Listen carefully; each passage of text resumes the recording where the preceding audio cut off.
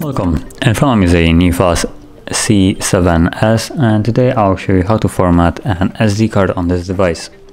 So to get started you want to open up settings and from settings scroll down to storage.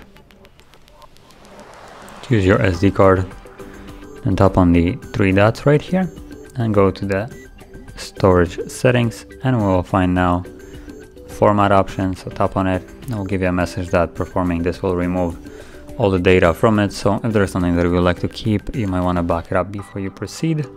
But assuming you don't um, then just tap on format SD card. The process will begin and once it's finished the card will be immediately ready to be used again. So right now. So if you found this very helpful don't forget to like subscribe and thanks for watching